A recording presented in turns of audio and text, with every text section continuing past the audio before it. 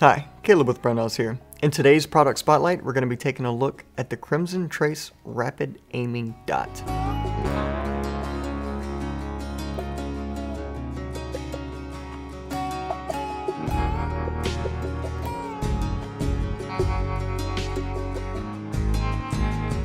So we have two models of these optics here, and the first question you're going to ask is what do they fit? Uh, so we have the standard and the micro. The standard fits your Docter footprint, uh, which is the same as your Burris Fastfire, so anything those will fit, this will fit. And then your micro uh, fits your shield or your J-point footprints.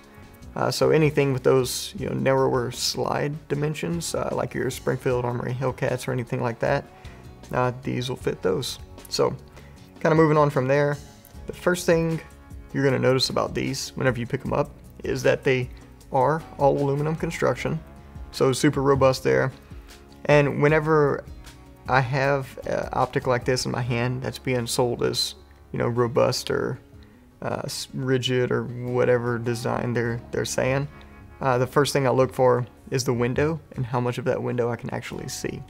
And I will say that on these they did a really good job with keeping plenty of aluminum around the sides of the windows, but still having plenty of window to look through.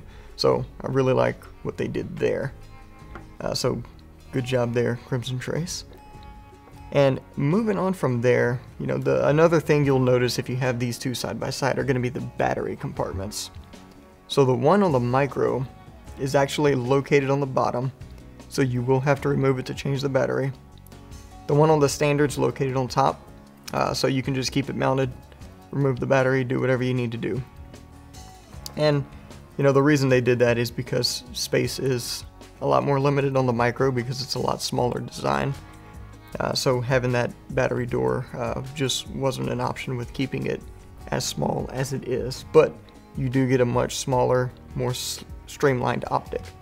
And speaking of smaller, streamlined optic, another thing you'll notice is that there's no buttons on this thing to turn it on or off. Uh, which when I picked this thing up, I was looking at it and I was like, uh, how do I turn it on? You know, where's the, uh, where's the go switch? And there was no go switch.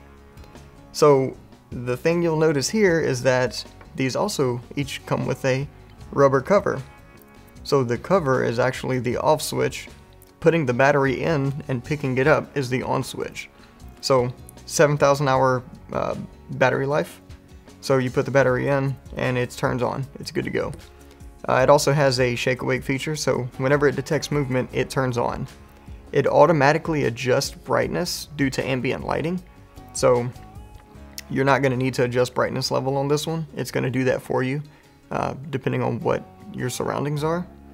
And whenever you want to turn it off, uh, you just put the cover on it, and it turns off so that's your off switch. So that's easy enough for this. This is obviously designed for defensive handguns in mind, not really a competition shooting where you're going to fine tune that brightness level uh, for whatever you're shooting at. This is a defensive gun optic, and I think they did an excellent job with it.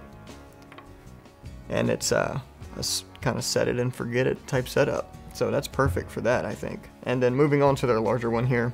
This is something you can kind of fine tune a little bit. It does adjust to ambient lighting as well.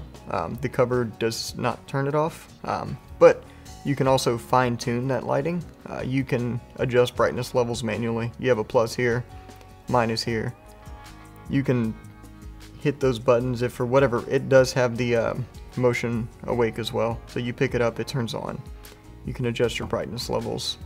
Um, and again, like I said, you know, you can, it still comes with the cover, but the cover just won't turn it off. You can turn it off manually by holding down the uh, button to shut it off. And that's how that one works.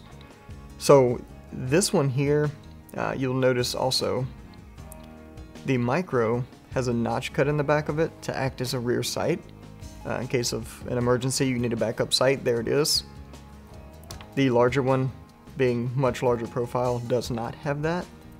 So that's another cool feature of the micro as well. So pretty new to the uh, the actual optic games in general. Uh, they've always made lasers. We know Crimson Trace for their, their handgun lasers. Um, but it's really cool to see them kind of get into this game. Uh, they also make some some rifle optics, some uh, scopes, and different things like that for rifles also. But I uh, so far I'm really enjoying their uh, their pistol sights or their pistol optics, I should say. So if you have any questions or comments, or if you've tried these out, I'd like to know what you think about them in the comments down below. Thanks for joining us, and we'll see you next time.